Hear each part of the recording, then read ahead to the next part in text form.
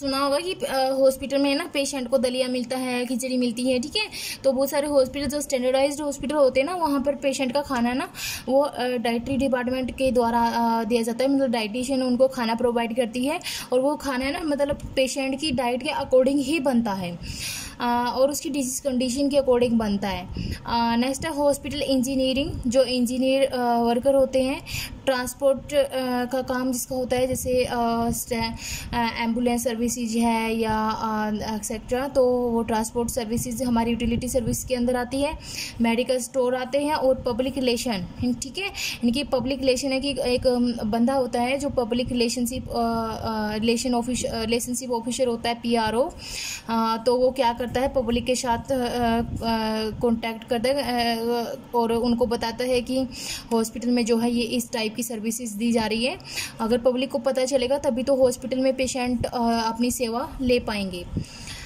आगे हैं department in hospital तो हॉस्पिटल में कितने डिपार्टमेंट होते हैं? तो सबसे पहला है आउट पेशेंट डिपार्टमेंट उसके बाद है इन पेशेंट डिपार्टमेंट उसके बाद है स्पेशलिटी डिपार्टमेंट तो आउट पेशेंट डिपार्टमेंट में कौन से आते हैं? यानी कि वो पेशेंट ओपीडी की फुल फॉर्म होती है।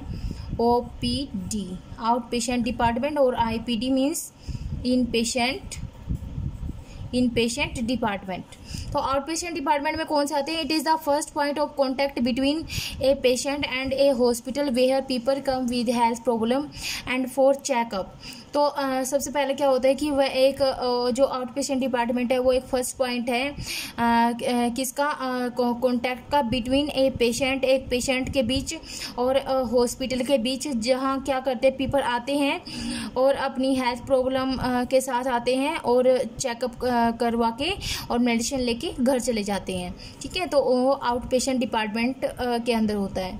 आगे है in patient department out out patient department में क्या होता है कि पेशेंट हॉस्पिटल में स्टे नहीं करता। यानी कि वो उसकी कोई प्रॉब्लम होती है, वो चेकअप के लिए आता है और मेडिसिन लेता है और चला जाता है।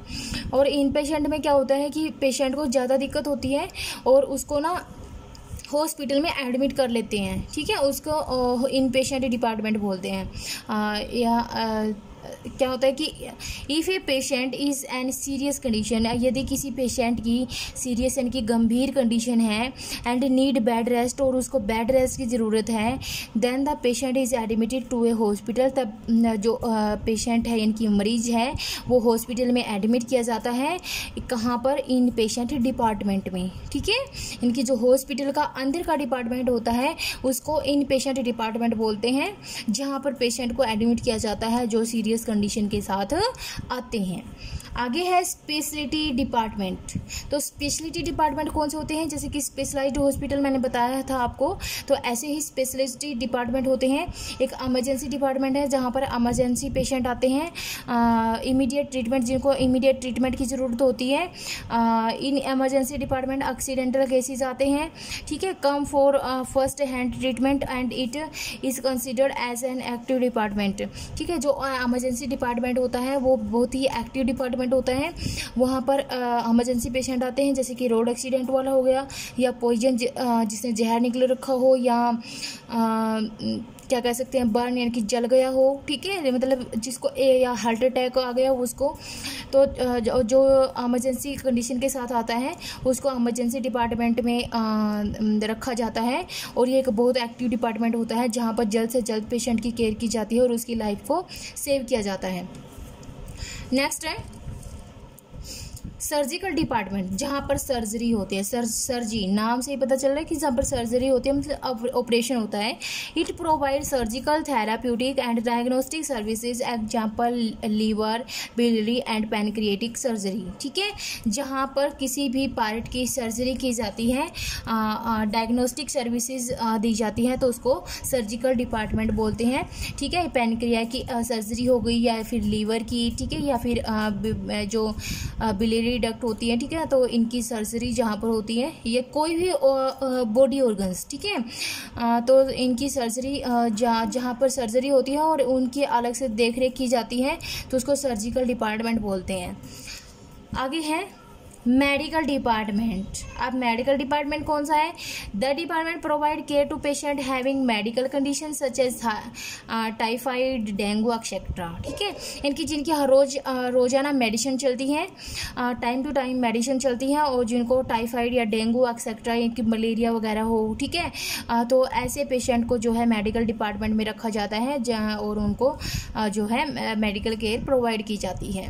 तो नेक्स्ट है हमारा ऑप्थेलमोलॉजी ओप्थेलमो ठीक है? रिलेटेड टू आई होता है ठीक है? तो ये जो है स्टूडेंट्स आप आ, लिख लेना अपनी कॉपी में कि ओनकोलॉजी का मतलब क्या होता है? ईएनटी e का मतलब क्या होता है? ओप्थेलमोलॉजी का मतलब क्या होता है? इमरजेंसी मतलब क्या होता है? सर्जिकल मतलब क्या होता है? ठीक है? इनकी सर्जिकल मीन्स जहाँ पर सर्जरी होती है इमरजेंसी में जहाँ पर इमरजेंसी पेशेंट आते हैं तो ये सारी चीज़ें अपनी नोटबुक में आप लिख लेना। आगे है ophthalmology department it provide inpatient and outpatient services for uh, treating eye disease. Eye disease को ट्रीट करने के लिए जो है ऑप्थेलमोलॉजी डिपार्टमेंट बनाया गया है विथ स्पेशल फोकस जहाँ पर स्पेशल फोकस किया जाता है उन कटेरेक्ट और ग्लूकोमा कटेरेक्ट मिस सफ़ेद मोतिया और ग्लूकोमा मिस काला मोतिया एंड ट्रांसप्लांट प्रोसीजर्स ठीक है? और ट्रांसप्लांट प्रोसीजर किया जाता है आइज़ का। तो उसको ऑप्थेलमोलॉजी डिपार्टमेंट बोलते हैं। अब है oncology onco means related to cancer होता है, ठीक है? कैंसर यानी कि onco means related to cancer यानी कि this department provide counselling and long term treatment to cancer patient जहाँ पर लंबे समय से कैंसर पेशेंट का ट्रीटमेंट चलता है, वो उसको ऑनकोलॉजी डिपार्टमेंट कहते हैं। आगे है E N T ear nose and throat department यानी कि this department provide diagnosis and comprehensive treatment of the ear nose throat जहाँ पर ईयर नोज़ एंड थ्रोट का ट्रीटमेंट किया जाता है, उसको ई एन टी डिपार्टमेंट बोलते हैं। आगे है neurological department neuro related to brain यानी कि this department deals with brain trauma and other complication related to brain यानी कि यह ऐसा डिपार्टमेंट है जहाँ डील की जाती है अगर किसी को ब्रेन ट्रोमा है, ठीक है? इनकी ब्रेन ट्रोमा इनकी से ट्यूमर है या फिर कोई भी ऐसी चोट लगी हुई है ब्रेन में, ठीक है?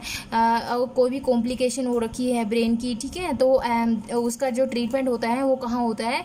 न्यूरोलॉजिकल डिपार्टमेंट के अंदर होता है। तो नेक्स्ट हमारा orthopaedic ortho related to bones ठीक है? यानी कि हड्डियों का अगर हमें को, कोई भी इलाज करवाना है तो हमें कहाँ जाना पड़ेगा? ऑर्थोपेडिक डिपार्टमेंट में जाना पड़ेगा। और ऑर्थोपेडिक डिपार्टमेंट कौन सा होता है? This this provide department provide treatment to all musculoskeletal injury यानी कि मस्कुलोस्केल्टल रिलेटेड कोई भी इंजरी होती है तो हमें कहाँ जाना पड़ेगा? ऑर्थोपेडिक डिपार्टमेंट में जाना पड़ेगा। नेक्स्ट है हमारा ये दो डिपार्टमेंट और रहते हैं इसके स्पेशलिस्ट डिपार्टमेंट के तो एक साइकेट्रिक डिपार्टमेंट है और एक गायनोकोलॉजी डिपार्टमेंट है। तो साइकेट्रिक होती है मतलब जिसको माइंड रिलेटेड प्रॉब्लम होती है ठीक है? कहते हैं ना मेंटली डिसऑर्डर है इसको ठीक है? मतलब आ, तो पागल ठीक है मतलब पागल नहीं होते बट उनका दिमाग जो है, वो कम काम करता है। तो उनको सेक्रेटरी डिपार्टमेंट में रखा जाता है। इनकी this department specialise in the diagnosis treatment and rehabilitation of mental disorder जिसको मेंटलिटी डिसऑर्डर होते हैं। डिसऑर्डर यानी कि कोई भी अब नॉर्मलिटीज़ ठीक है? यानी कि माइंड रिलेटेड कोई भी अबनॉर्मलिटीज हो तो उसको कहाँ रखा जाता है? साइकेट्रिक डिपार्टमेंट में रखा जाता है। आगे है गायनाकोलॉजी तो गायनाकोलॉजी क्या होता है? Related to female reproductive organ से रिलेटेड होती है। किससे रिलेटेड होती है? फीमेल रिप्रोडक्टिव ऑर्गन से रिलेटेड होती है। यानी कि लेडीज़ का कोई भी रिप्रोडक्टिव सिस्टम से रिलेटेड कोई भी समस्या होती है तो गायनाकोलॉजी डिपार्टमेंट में आ, जाना होता है और गायनोकोलॉजी यानी कि this department provide in patient and out patient service to women यानी कि ये है ना जो गायनोकोलॉजी डिपार्टमेंट होता है, वो ए फीमेल पेशेंट को आउट पेशेंट और इन पेशेंट सर्विस प्रोवाइड करता है। तो उसको गायनोकोलॉजी डिपार्टमेंट बोलते हैं।